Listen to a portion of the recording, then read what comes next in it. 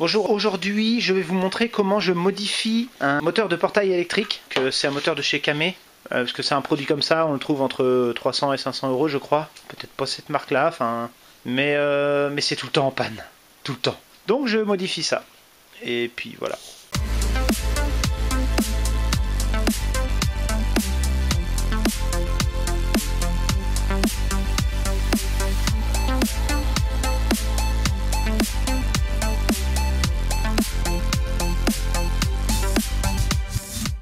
Y a un moteur, un transfo, il y a une, une, crémaillère qui vient ici pour faire déplacer le, portail.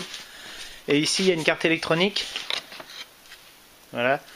Mais c'est la deuxième carte électronique et ça bug dans tous les sens, ça marche pas, il y a de la corrosion, il y a tout ça. C'est pas très très efficace euh, et c'est surtout que c'est incroyablement compliqué pour euh, la fonction que ça doit avoir. Donc j'ai décidé de tout passer en électrotechnique. C'est un moteur de 130 volts, enfin il a deux sens de rotation. Et il a un condensateur de démarrage qu'on peut changer pour avoir une vitesse différente. Alors plutôt qu'avoir deux vitesses, moi j'en avoir qu'une parce que ça j'ai pas envie d'en avoir deux, mais je pourrais en avoir deux. Euh, je vais changer son condensateur pour aller un peu moins vite. Et puis je vais installer tout un tas de relais et de démarreurs pour euh, respecter mon schéma électrique. Alors tous les contacts et toutes les sécurités qu'il y avait d'origine, bah, la plupart j'en ai enlevé. Je garde euh, le gyrophare, le, le capteur barrage. Capteur barrage c'est un infrarouge Sauf que celui d'origine ne me convient pas. Alors j'en utilise un à moi. Capteur infrarouge, capteur de fin de course. Quand le portail est complètement rentré, ça fait clac. Et quand il est complètement sorti, ça fait clac. Donc je vais vérifier si c'est des contacts à ouverture ou à fermeture. Parce que. Tac, tac, tac, tac, tac, tac. J'enlève le transfo, j'en ai plus besoin. J'ai plus besoin de 12 volts, je suis tout en 230 volts. Euh, puisque le moteur est en 230 volts, euh, le capteur infrarouge est en 230 volts. La télécommande à distance, j'utilise de l'Audislor à fil pro c'est français, enfin c'était français. Télécommande, petit module de commande à distance qu'on met dans les prises de courant pour les prises commandées dans la rénovation. Et ben moi je vais m'en servir pour euh, basculer euh, marche ferme, ouvert fermé, enfin faire des cycles. Et puis je vais essayer de faire ça sur un petit coffre électrique euh, réparable par un électrotechnicien de base entre guillemets. Plus besoin de faire venir de l'électronique et d'être avec des mosiciels. Facile à réparer, facile à simuler, quelques boutons poussoirs pour la marche forcée, un contact moteur, des disjoncteurs, enfin des choses euh, qui tout cumulé sont a priori pas moins chères que la carte électronique d'origine. Euh, parce que c'est un produit comme ça, on le trouve entre 300 et 500 euros je crois. Peut-être pas cette marque là, enfin. Mais, euh, mais c'est tout le temps en panne. Tout le temps. Donc je modifie ça. Et puis voilà. Bon alors j'ai essayé de désosser un petit peu la machine. J'ai ouvert la boîte de capteurs qui était ici pour le fin de course. Je me suis rendu compte que c'était deux interrupteurs très basiques. J'ai changé les câblages parce que ça me convenait pas. Je voulais des capteurs à fermeture. Puis je voulais pas qu'ils soient en commun. Enfin bref, j'ai changé les câblages, donc je vais pouvoir remettre ça convenablement. Vous avez vu, c'est juste un ressort hein, qui appuie euh, à droite et à gauche, hein, et puis qu'on peut euh, plier complètement. La boîte fonctionne, je l'ai testé, euh, enfin le moteur boîte fonctionne, j'ai testé avec une rallonge et puis j'ai branché directement sur des wagos. cette partie-là, je l'ai démontée, j'ai enlevé le transformateur, il y avait un gros transformateur ici. Et puis je me suis dit, j'ai deux choix. Euh, bon, j'ai refait mon schéma de câblage et je me suis rendu compte qu'il me fallait, euh, je vous montre ici, il me fallait à peu près tout ça de matériel. Ça en équipement, sachant que je peux peut-être enlever un ou deux disjoncteurs si ça va pas. J'ai déjà simplifié, j'ai enlevé le contacteur moteur et tout. J'ai pris tout ce que j'avais en stock, beaucoup de déstockage d'ailleurs, ça c'est du neuf. Et euh, des petites bornes, c'est secondaire les bornes, si je peux les mettre c'est bien peut me permettre de raccorder bah, l'alimentation, euh, le capteur infrarouge qui est là, le capteur euh, barrage, et puis le gyrophare. Mais si je peux pas, euh, je, repérerai la borne et ça sera branché directement dessus. Mais l'idée c'est que ce soit démontable et testable en atelier et tout et tout. Et je me suis dit j'ai deux choix, trois même. Soit je prends un coffret électrique standard sachant qu'un 13 modules suffit pas, enfin je crois qu'il y en a 17 qu'il faut là.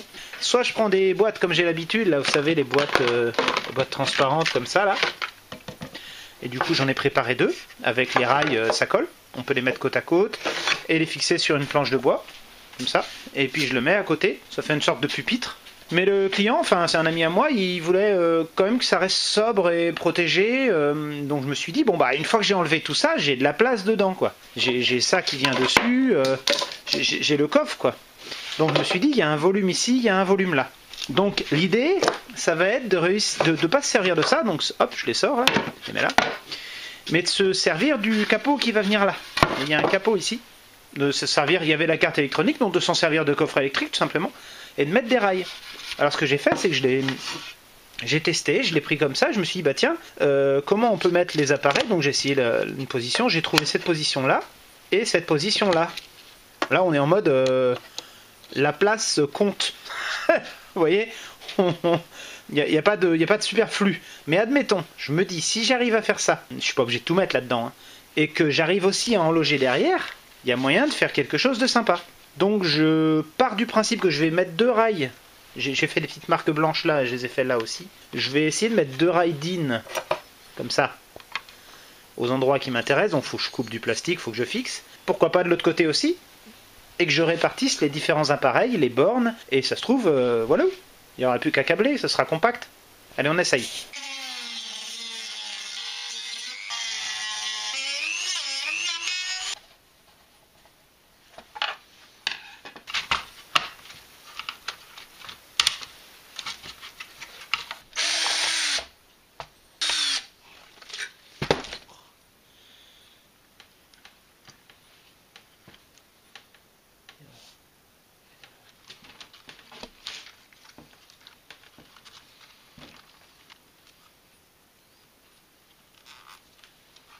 Bon voilà à quoi ça ressemble.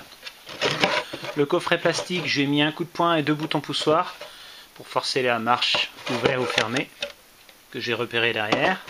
J'ai mis euh, des scotch noirs parce qu'en fait on est en 230 volts donc je voudrais pas que l'utilisateur il ouvre le coffret sous tension et qu'il mette les doigts même s'il est censé couper le courant avant. Alors bah, les disjoncteurs sont derrière. C'est pas des disjoncteurs qui sont faits pour être manœuvrés tout le temps, c'est des protections en fait. Hein. Le but c'est que ça disjoncte c'est qu'il y a un problème. Ou alors si, si par exemple j'interviens sur le système, je peux couper soit le moteur, soit le circuit électronique. Enfin le circuit électrique. Pour rappel, j'ai remplacé ça là. C'était à peu près ici. Ça prend presque la même place en, largeur mais pas en épaisseur. Donc il y avait un transformateur électrique de l'autre côté qui faisait le 12 et le 24 volts. Et euh, ce circuit, il avait euh, une partie commande qui est là. Donc on a les, des relais qui commandent euh, petite vitesse, grande vitesse, et euh, marche avant, marche arrière, je crois que c'est quelque chose comme ça. la petite vitesse était gérée par un transistor qui faisait euh, varier la tension. Et euh, sur le côté droite, on a la partie commande, a des petits trous dans la carte pour dire que c'est pour l'isolation magnétique, et on passe de l'un à l'autre avec des composants spécifiques. Et tout ça, c'est de la commande et de la mesure. Et c'est cette partie-là qui marchait pas en fait, qui, qui, tombait tout le temps en panne.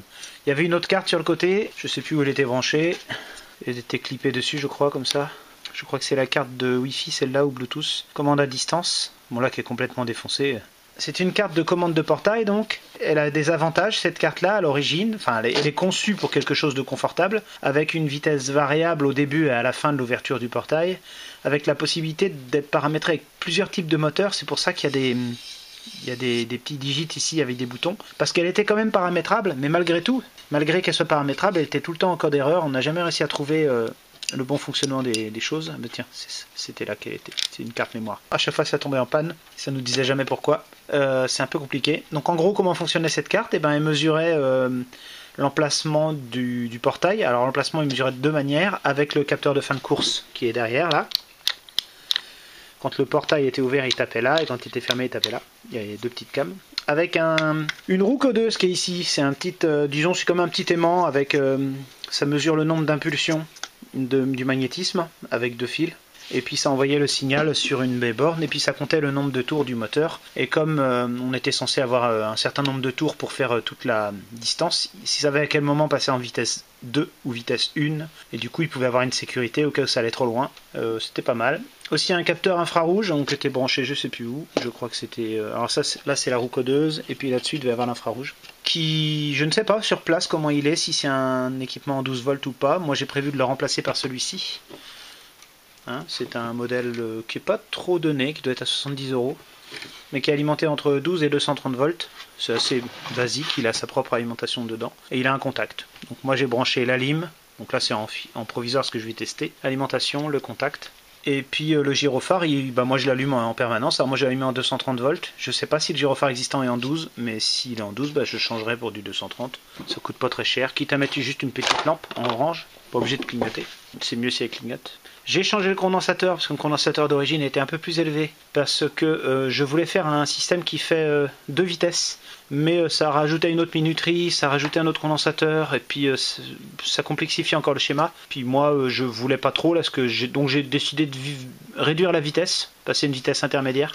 Il ira moins vite, c'est tout. Il devrait pas être trop violent. On va le faire comme ça. S'il y a besoin de rajouter une minuterie avec un condensateur, j'ai de la place derrière. Si vraiment besoin. Mais bon, déjà comme ça, c'est du taf. Alors ça ressemble à un gros bordel, c'est normal, parce qu'il n'y a pas trop de place, donc j'ai fait deux rails très très proches. Les fils ici, je peux pas trop les attacher, je peux pas passer mes doigts, donc j'ai déjà pour raccorder c'était compliqué. Mais bon, ils se tiennent. Qu'est-ce qu'il y a dans cette euh, platine? Alors bah les disjoncteurs qu'il y a de l'autre côté, les bornes, donc ça c'est juste pour permettre de raccorder avec l'extérieur. Donc là les bornes du capteur, les bornes d'alimentation, enfin tout un tas de bornes qui me permet moi de, câbler sur place un module sans fil, là, de chez Audislor à Fil Pro, entreprise française, euh, qui a fait faillite, donc c'est de la récup, euh, c'est de l'achat de aux enchères qui fonctionne avec une télécommande. Cet appareil-là, il est remplaçable par n'importe quel modèle, donc euh, ça va, pas de problème particulier. Il est programmable avec 6 ou 7 télécommandes, je crois. Contacteur moteur, qui me sert effectivement pour le moteur, mais bon là c'est un simple contacteur, il n'y a que quelques ampères qui passent. Des petits relais en 230 volts Finder. Alors tout ça, ces relais là, c'était sur des pompes à chaleur que j'ai démontées, pompes à chaleur de chez France Géothermie, qui ont fait faillite, donc j'ai récupéré les relais. Ça c'est pareil, un petit Finder avec euh, plus de contacts. Il est différent parce qu'il fallait 3 contacts et là il y en a que 2 à chaque fois, donc euh, je, je, suis passé sur un autre modèle. Ça c'est un autre Finder qui a deux contacts, un ouverture, un fermeture. J'aurais pu mettre le même que celui-là, je l'avais en stock, j'ai mis celui-là. Ça, c'est trois minuteries. Pourquoi il y a trois minuteries? Alors, petite astuce, euh, il n'y en avait besoin que d'une. En gros, euh, c'est celle-là qui était importante. C'est la minuterie qui, euh, une fois que le portail est ouvert, en, combien de temps après on va le refermer? Là, j'ai réglé à 10-15 secondes, je sais plus, il faudra que je vérifie. Donc, en gros, une fois que le portail est complètement ouvert, il attend avant de se refermer. ça peut être instantané, comme ça peut, on le règle ici. ces minuteries-là servent pour un truc hein, qui, moi, m'a embêté dans le câblage. C'est que l'appareil qui est là, quand on appuie une fois sur le bouton, il met sous tension les fils, là il, enclenche. En fait, c'est quelque chose qu'on met dans les prises de courant pour faire des prises commandées. Donc quand on appuie une fois sur la télécommande, ça met sous tension. On rappuie, ça coupe. Et ça, c'est embêtant parce que je voudrais qu'à chaque fois qu'on appuie sur la télécommande, ça ouvre le portail et qu'on le laisse se fermer tout seul. Donc il a fallu que je, fasse une, un sorte de va-et-vient avec ça, un va-et-vient sur minuterie. Le schéma est pas si compliqué, mais la logique est assez complexe. La télécommande là, alimente un relais. Le relais, il est dans une position ou dans une autre. Il a deux positions donc. Euh, dans une des positions, il alimente cette minuterie-là, et dans l'autre position, il alimente celle-là. Et à chaque fois, la minuterie est réglée sur une ou deux secondes. Pas grand-chose. C'est-à-dire qu'en gros, d'un état stable, on passe à un état impulsionnel. Stable, allumé, c'est-à-dire qu'on là c'est sous tension, c'est celui-ci qui s'allume, l'un ou l'autre, hein, c'est admettons celui-ci qui s'allume, une seconde ou deux après il s'éteint. Donc ça permet de faire une impulsion pour aller dans un sens, donc par exemple ouvrir le portail. Après, c'est l'automatisme, la logique qui se met en marche. Et quand on l'éteint, eh ben, ça allume celui-là, puisque le relais retombe et allume celui-là du coup, pendant deux secondes, et après ça s'arrête. Donc ça permet de simuler deux impulsions bouton poussoir à partir d'un interrupteur. Si j'avais eu un autre type de commande ici, j'aurais pu supprimer ce relais et ces deux-là. Quasiment. Euh, là, j'ai fait comme ça parce que j'ai fait avec les moyens du bord. Et, effectivement, c'est des minuteries euh, pas très très chères, celle-là. Alors, c'est ce que j'avais en stock. Euh, je crois que ça vaut 20-30 euros l'unité. Sinon, si on prend du Finder ou du. je sais plus la marque que je prenais avant, c'est presque 60 euros en minuterie multitension. Mais sinon, ça marche aussi avec. on peut faire avec des minuteries du bâtiment. Mais c'est pareil, c'est 40 euros la minuterie. Et le fonctionnement est un peu différent. Parce que là, c'est une minuterie qui fonctionne dès qu'on la met sous tension. Remarque pour le bâtiment, ça a marché aussi. Peu importe la marque, en fait, ça fonctionnera. Tout est en 230 volts. J'ai réussi à tout faire en 230 volts sans avoir besoin de transfo. Donc ça m'a simplifié plein de choses, même si c'est pas euh, la même sécurité. Euh, je suis pas sûr qu'il y ait un fil de terre sur l'alimentation, donc je, sur place, je vérifierai pour raccorder un fil de, terre sur la carcasse métallique. Tout le reste en plastique, mais bon, là, il y a du métal. Donc je vais tester. Alors comme c'est une vidéo euh, un petit peu à l'arrache, je n'ai pas préparé de schéma numérisé. je reste sur du brouillon. Je vais montrer un petit peu au niveau du schéma une partie puissance qu'elle a avec un disjoncteur, un contacteur, donc le disjoncteur il est derrière, le contacteur c'est celui-là, qui alimente le moteur qui est là. Et le moteur il a deux vitesses, il a trois fils. Et on l'alimente euh, deux vitesses et deux sens de rotation. Donc il y a un, fil que pour ouvrir, un fil qui est pour fermer, et la vitesse c'est le condensateur qui gère ici. J'ai deux petits fins de course en série, c'est des interrupteurs qui coupent le moteur, il faut bien le couper à la fin de, à la fin de son fonctionnement. Et là on a la fameuse minuterie, là, la, la première qui est là qui, en fonction de sa position, choisit la vitesse la position ouverte ou la position fermée. C'est ce que j'ai trouvé de plus simple. Ça passe directement par minuterie parce que c'est un moteur de 300 watts, ça consomme rien. On va avoir un ampère 5. Sur la partie commande, j'ai fait deux circuits séparés avec, bon là c'est marqué c'est dessiné infusible mais c'est un disjoncteur qui passe directement par le coup de poing qui est là. Donc le coup de poing est sous tension directement. Et puis ensuite je devais remettre d'autres disjoncteurs mais j'avais pas la place. Donc ensuite j'ai tout le circuit de commande avec la phase, le neutre. Tous les neutres sont raccordés aux différents appareils, les relais, les... Et puis euh, la phase passe à plusieurs endroits, des contacts. Grosso modo, euh, comment ça marche? Eh ben, On alimente ici le, le boîtier ON, c'est celui-là, le boîtier sans fil, qui lui va alimenter un relais qui permet de basculer sur la première minuterie ou la deuxième minuterie. Chacune de ces minuteries ont la même fonction, c'est lancer le cycle, ici. Donc c'est des contacts en parallèle qui permettent d'alimenter le relais Q, c'est le relais de mise sous tension, disons. Puis il y a un petit bouton poussoir aussi, qui est là, qui permet de lancer le cycle aussi. Une fois que le cycle est lancé, ça alimente, ça met en marche ce contact-là. Ce contact-là, il est branché, c'est un peu mal dessiné, mais en gros, il est sous tension et il alimente directement le gyrophare, le contacteur euh, euh, moteur, le K, et euh, le photo, photo électrique, là, le barrage. Donc ça met sous tension, le gyrophare qui en marche, on met la cellule photoélectrique en marche, ça ne veut pas dire qu'on récupère son information, mais on la met sous tension.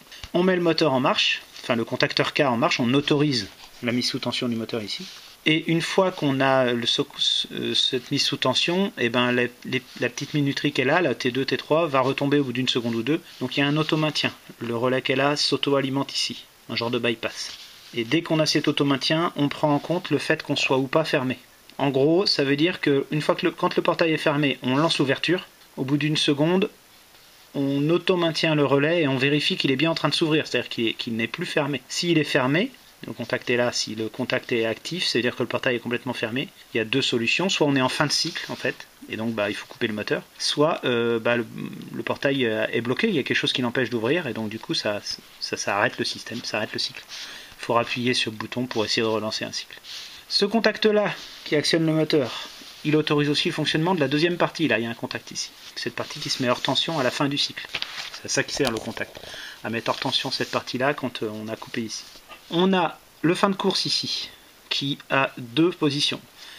D'un côté, il permet d'enclencher un relais de fin de course ouvert, c'est-à-dire quand le portail est ouvert, et le fin de course fermé, quand le portail est fermé. Là à côté, j'ai dessiné les, nombres de contacts qu'il y avait besoin. C'est pour moi, c'est des mémos techniques. C'est pas comme ça qu'on fait en vrai, mais bon, et donc ça c'est pour couper euh, un sens ou un autre. Donc euh, le fin de course ouvert coupe euh, le, mouvement ouvert, le fin de course fermé coupe le mouvement fermé. Et puis il actionne d'autres automatismes. On, a commencé à ouvrir. Une fois qu'on est arrivé en position ouverte, donc c'est ce fin de course là qui se met en marche, ça coupe le moteur et ça enclenche ici. Ce contact là normalement est complètement fermé puisqu'on n'est pas fermé. Ici c'est pas actif, puisque ce, contacteur-là a arrêté de fonctionner. Il n'y a personne qui est dans le sens, dans le, dans le chemin. Donc là, il y a le contacteur du barrage, il n'y a personne qui passe devant. Et eh bien là, si on est ouvert, on enclenche l'alimentation de ce relais. Alors ce relais, ça sert juste pour l'auto-maintien, parce qu'il il manque un contact ici. Donc pour l'auto-maintien. Et ça enclenche la tempo. Cette tempo, c'est celle-là. Là. Et au bout d'un certain temps, paf, ça passe sur la marche sur la, fonction fermée. Et ça passe sur la fonction fermée que si on est ouvert, si on n'est pas déjà fermé, si on est bien sous tension, enfin si on ne lance pas un cycle, pardon, parce que si on lance un cycle, on rouvre, et s'il n'y a personne dans le passage. À chaque fois qu'il y a un de ces contacts-là qui s'ouvre, pof, le relais redescend et on repasse en fonction ouvrir. Et ça se rouvre à moins que ce soit déjà en position ouverte.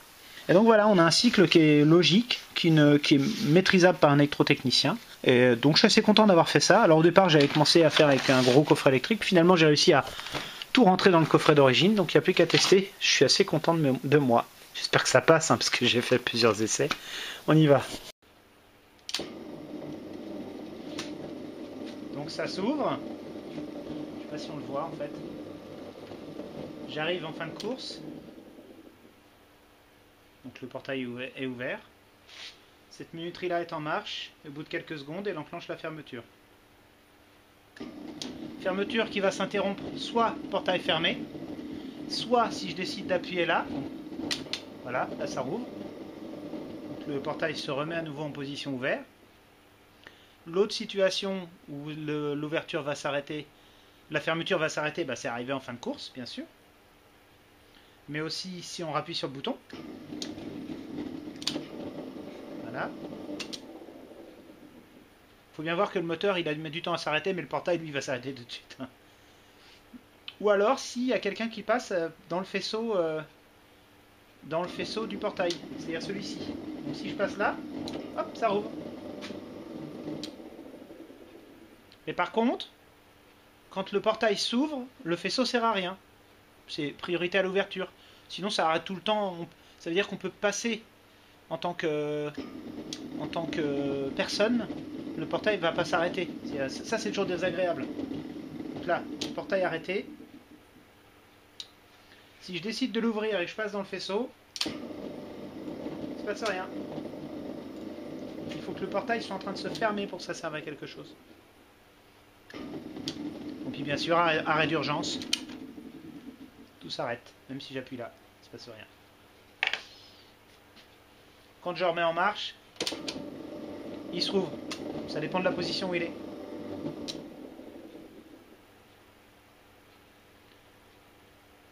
Le coup de poing arrête le portail, mais le redémarrage fait ouvrir le portail.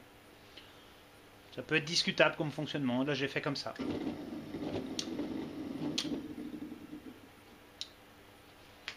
Voilà, moi je suis très satisfait.